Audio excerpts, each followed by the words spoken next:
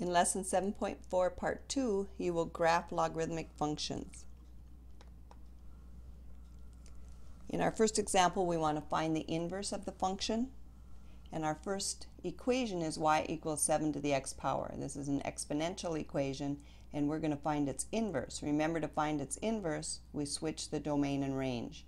So we switch the x and y values. So the equation is x equals 7 to the y power. Now these two are inverses of one another, but we need to leave this inverse in proper form, so we need to solve for y. And to solve for that exponent y, we need a logarithm. y is equal to log base 7 of x. So this logarithmic equation and this exponential equation are inverses of one another. Okay, let's try it again in problem 2. We're starting with a logarithmic equation, y equals log base b of x. To get its inverse, we switch x and y. And then to leave this inverse in proper form, we solve for y. So we're going to solve this logarithmic equation for y, which means we're going to go from logarithmic form to exponential form. So that the that y is equal to base b raised to the x power. So this equation, this exponential equation, is the inverse of the logarithmic equation that we started with. Okay, let's try it again in problem 3. We want to switch x and y to get the inverse of this logarithmic equation. And then we need to put it in proper form by solving for y. So to solve for y, we need to go from logarithmic form to exponential form. This is ln, which means our base is e, log base e, raised to the x power. The log is just an exponent. And e to the x power is equal to y minus 3. And now to get y alone, all we have to do is add 3 to both sides of this equation. So y is equal to e to the x power plus 3. And this exponential equation is the inverse of this logarithmic equation.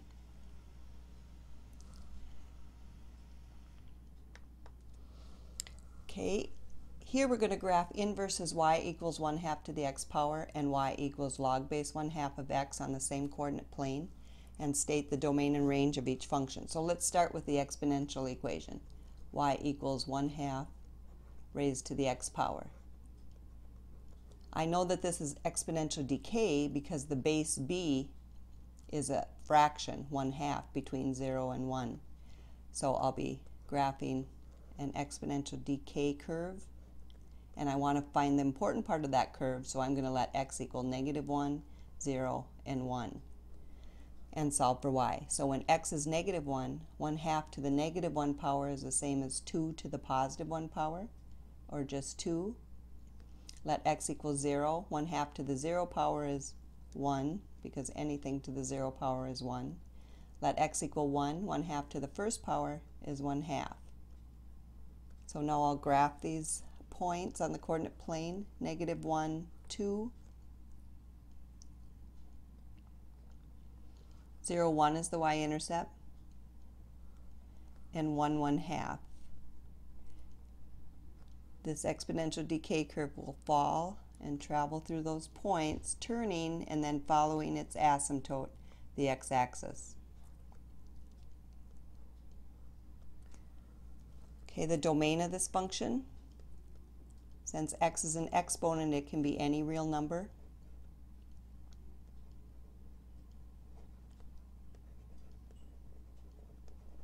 And the range since the x-axis is the asymptote that this curve approaches, y is always going to be greater than 0. Okay, now let's graph its inverse, this logarithmic equation, y equals log base 1 half of x. Because I already have a table of values for the exponential equation and this logarithmic equation is its inverse, all I have to do is switch those x and y values. So 2, negative 1 is a point on this curve, 1, 0 is a point on this logarithmic curve, and 1 half 1. Notice that the y values this time are negative 1, 0, and 1 to get the important part of the curve. So we'll graph 2, negative 1, 1, 0, and 1 half 1.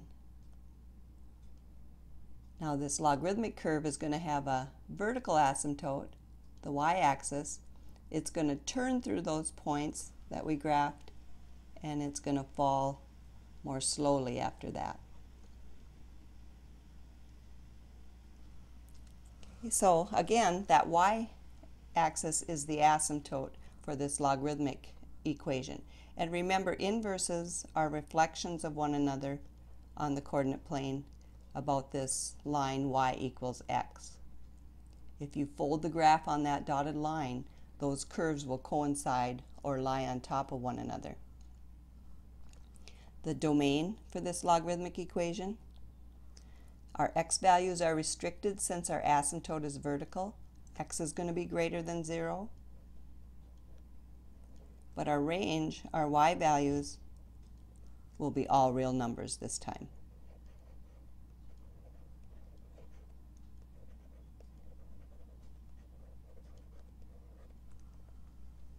So you can see how opposite an exponential function and its logarithmic inverse are. Okay, here we're going to graph y equals log base 1 half of x plus 4 and state the domain and range. Okay, to do that we're going to make a table of values and since it's a logarithmic equation we're going to want to assign values to y. To decide what values to assign to y I'm going to solve this equation for x. To do that, the first thing I need to do is move 4 to the other side, subtract 4 from both sides of this equation, and then go from logarithmic form to exponential form. The base is 1 half. It's raised to the y minus 4 power, and it's equal to x. So now I can see that if I want to raise this base to the negative 1, 0, and first power, I'm going to have to let y equal 3 to get an exponent of negative 1. I'm going to have to let y equal 4 in order to get an exponent of 0. And I'm going to have to let y equal 5 in order to get an exponent of 1. So now let's solve for x. If I let y equal 3, 3 minus 4 is negative 1. 1 half to the negative first power is the same as 2 to the positive first power, or just 2. So x is equal to 2. Now let y equal 4. 4 minus 4 is 0. 1 half to the 0 power is 1. So x is equal to 1. Let y equal 5. 5 minus 4 is 1. 1 half to the first power is 1 half. So x is equal to 1 half. So we'll graph these ordered pairs, 2, 3, and 1 4 and 1 half 5. So again, remember our uh, asymptote for a logarithmic curve is vertical. It's the y-axis in this case. And so this curve follows the y-axis and falls from left to right. The domain for this curve Again, since the asymptote is vertical, is x is greater than 0. And the range is all real numbers.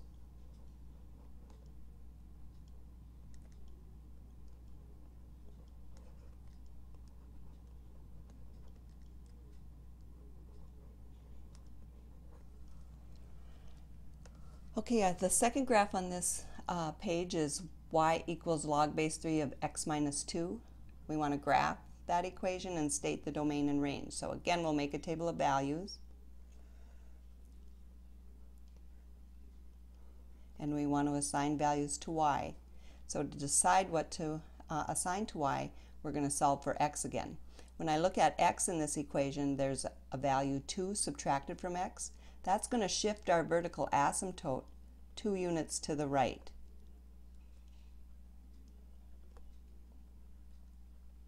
So I'm going to put that asymptote in place.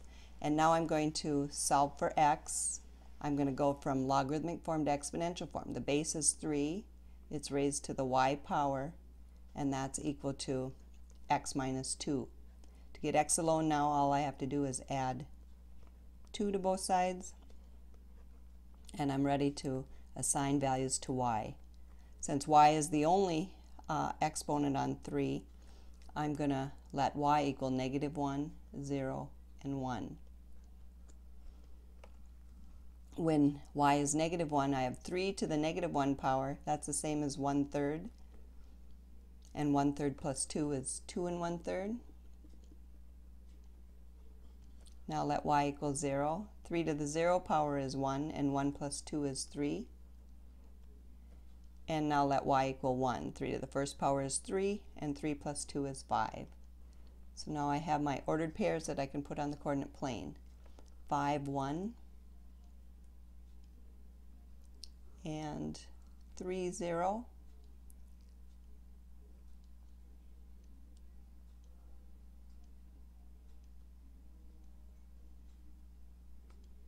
And 2 and a third, negative 1.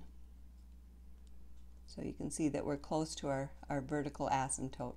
So this curve is going to follow that asymptote from below, turn, and increase slowly after that.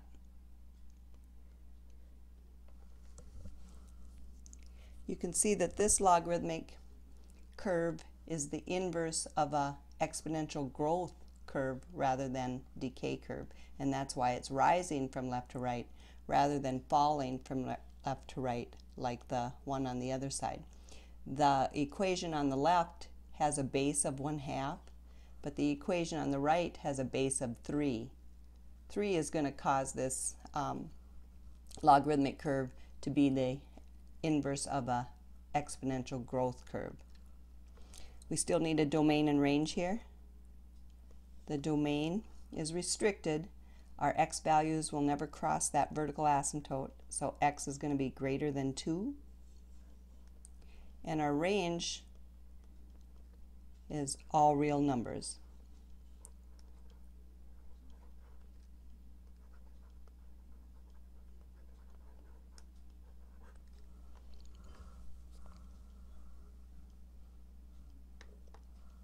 Include with your notes of this video guided practice problems 14 through 17 on pages 501 and 503 of your textbook.